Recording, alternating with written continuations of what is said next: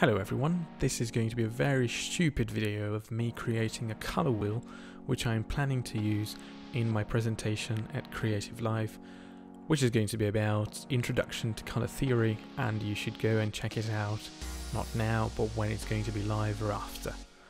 So let's just see what I did. It's just going to be a time lapse so don't be disappointed if you can't keep up. You can always just pause it, stop it, go back. It's a video. I created a 4K document, I created the circle that I filled in with black. This is just going to be my guide, so I created some guides so I can get the center out. Created another uh, circle with the marquee tool, deleted that, so I have this layer with just this great circle shape. And what I'm going to do now is just going to create the guides that are going to make up my swatches for the colors. I created one line and then I started rotating that and duplicating that by 30 degrees and this way I've got 12 of them. Now, I'm going to use the pen tool because the pen tool is a very, very powerful tool for everything that you need. Well, basically for shapes, cutouts, for everything that you can just basically need to map out. And I set the color of, of my previously mentioned 30 degree uh, guides to red so I can see them better. Now as you can see it's a very rough tool shape, but I don't need you know to be precise because I can mask it out later. And you can see me creating all the other colors. I hope it's very fast. Let's see. It could be faster.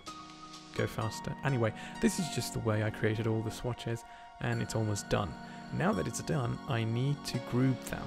And once I group them, I can create this mask I mentioned. There it is. It's great. I think it looks very good. I'm just going to go through the edges to see where they are maybe off a bit and I'm going to fix them. So it's all nice and dandy. It started raining, it's perfect outside. Anyway, so this is what I'm, I'm trying to fix.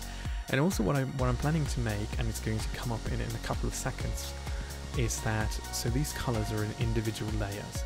And since they are, I'm going to attach by a clipping mask to all of them something that is going to desaturate them. So this way I can desaturate them individually.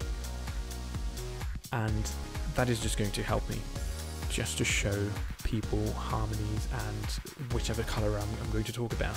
It's going to make it very visual.